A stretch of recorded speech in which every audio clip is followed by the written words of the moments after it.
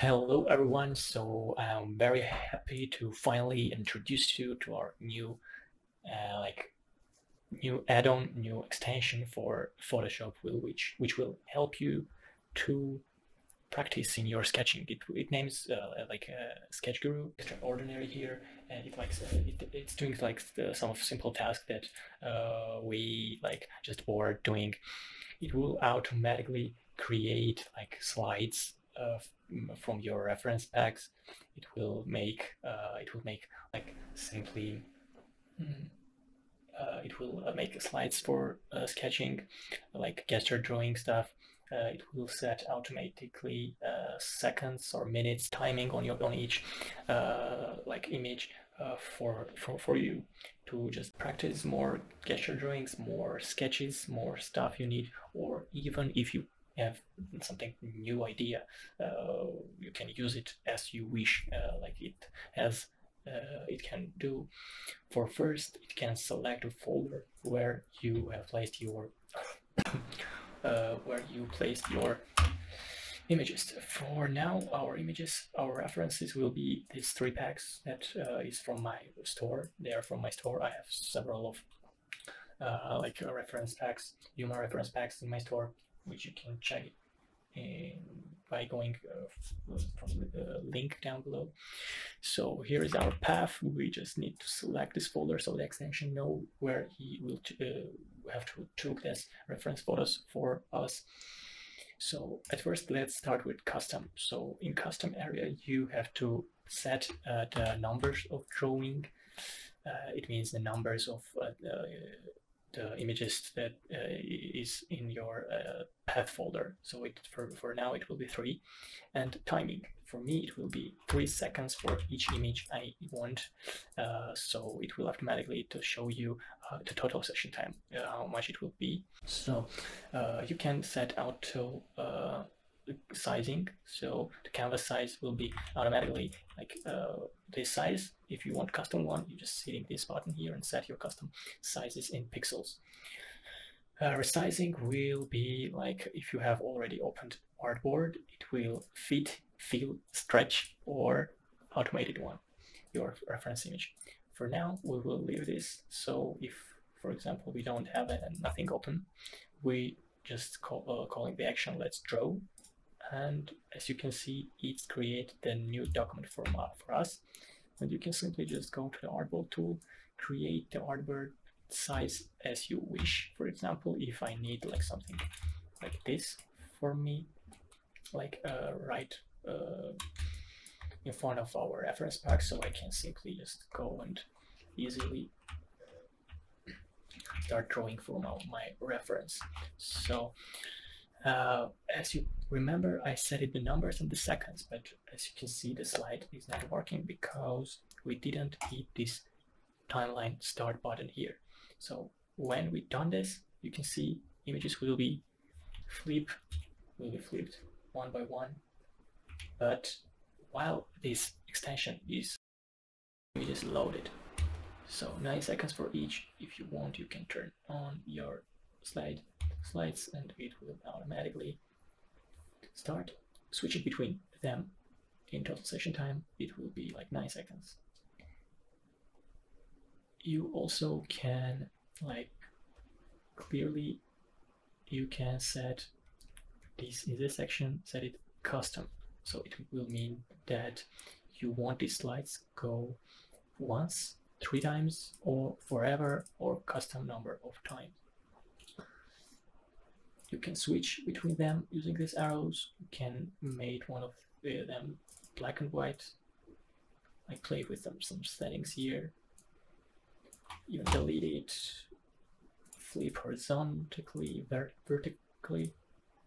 You can also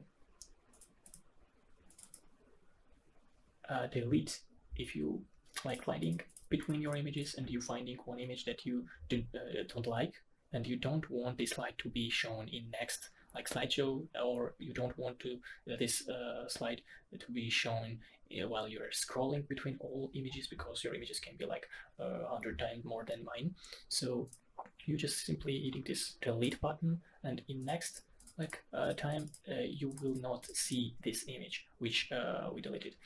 So the extension will just simply ignore it.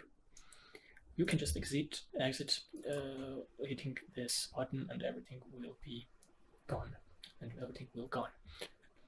Uh, so uh, that's it. One minor thing, uh, or or not minor, uh, is that when we selecting our images, we opening the document. Uh, how you can like draw and use it, it as reference. From in my case, I just creating new artboard or two artboards or three as much as I want and where I want and in which size I want and just simply um, I'm starting to draw and use this section as my reference. So if you, uh, as you noticed, I'm using it manually here. Well, you just need to switch between your references You're using these arrows and flip them or doing any any of these actions by yourself.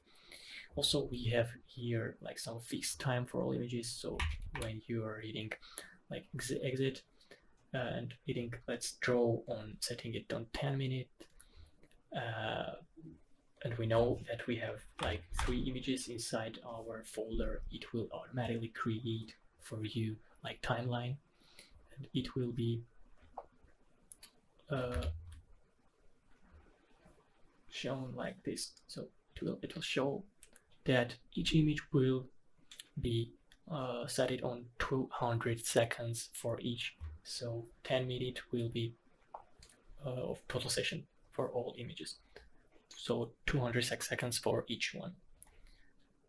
Uh, okay so fixed times is 1345 1 2 5 10 minutes uh, the last one is um, this document size section uh, is that uh, you can like switch uh, set your custom size and it will like the reference will be uploaded inside the canvas you have uh, set it earlier. Or if you already have yeah, like your artboard uh, it can fit your artboard stretch uh, using your artboard size. Or none of this and it will be done as automatically. And for the final so as you can see as I told before the worst part of this plugin was that uh, we can't use timeline so automated timeline process. So uh, because while while plugin or anything else working uh, in uh, Photoshop Photoshop settings Photoshop development their, their code inside do not allow us to like create uh, to use like other tools. So that's why you can't draw while timer is working automatically. That's why you need to slide between your reference images using manual air uh, arrows. But we leave these settings inside the plugin because there is many uh, people that can use it um, as uh, like standalone software do they do not want to uh, draw inside of Photoshop. Maybe they are using paper or iPad and stuff. So that's it. Uh, you can see here my website link. By clicking on it you can like simply go to my store and uh, there you will find some maybe some interesting stuff for you. You can like purchase some of my reference packs and use it as well. So that's it. I hope you enjoyed. I hope it will be helpful for you. Maybe you will find some other stuff uh, some other ways to uh, let this plugin help be like useful for you. Feel free to comment down below some stuff that you're thinking it can be uh, important and see you in the next video